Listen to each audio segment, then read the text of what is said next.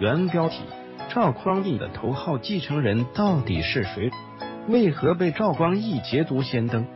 立嫡立长，这是我国古代封建社会皇位传承的一个不二法则，但规矩总是拿来破坏的。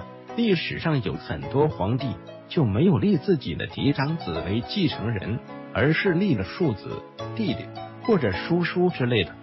结果也没见了是一边倒的成威王之兆，有的似乎还更加兴盛，比如宋太宗赵光义。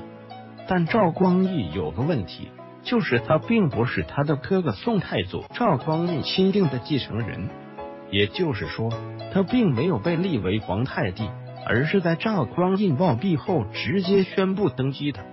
也许这个故事大家已经听得腻了。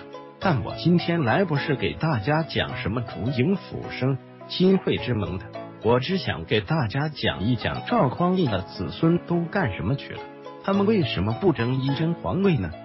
赵匡胤有五个儿子，可惜三个都早夭了，只剩两个活到他驾崩。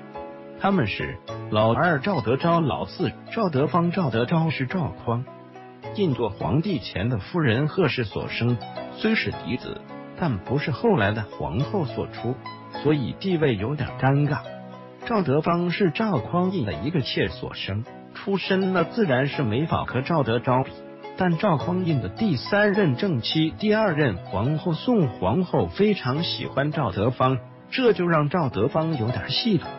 秦始皇的父亲嬴异人也是妾所生，后来就是因为攀上了华阳夫人而被立为祭祀，所以。这些出身低微的皇子也不是没有机会的。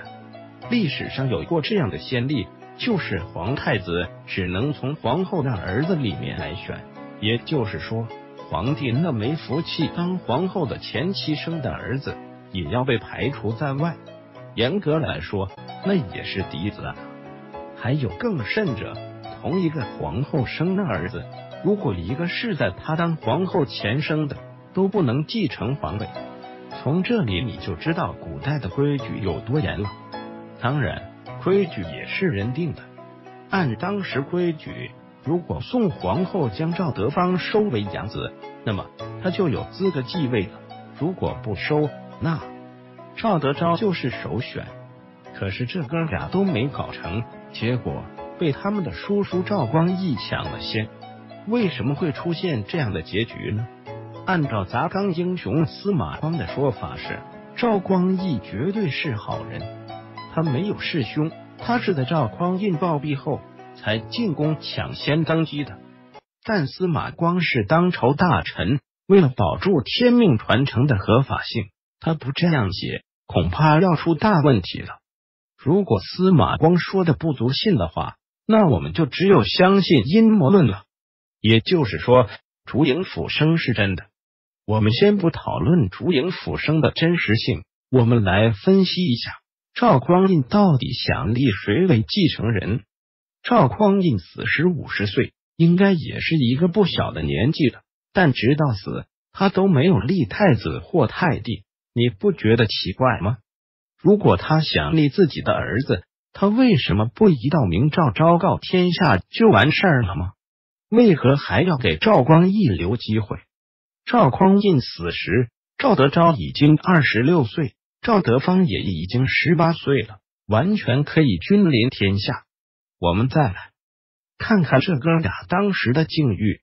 赵德昭当时是检校太傅，同中书门下平章事；赵德芳是检校太保，贵州防御使。